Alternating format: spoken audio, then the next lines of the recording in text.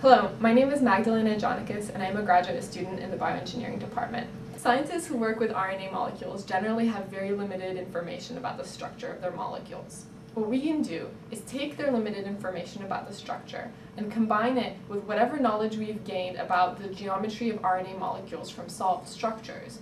We combine these pieces of information to predict what the molecule might look like in three dimensions.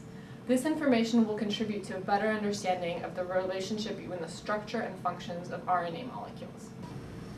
Okay, so this is a movie of an RNA molecule being built uh, where each sphere represents one nucleotide in the RNA molecule, and we have a limited amount of information about the secondary structure and tertiary structure of the molecule.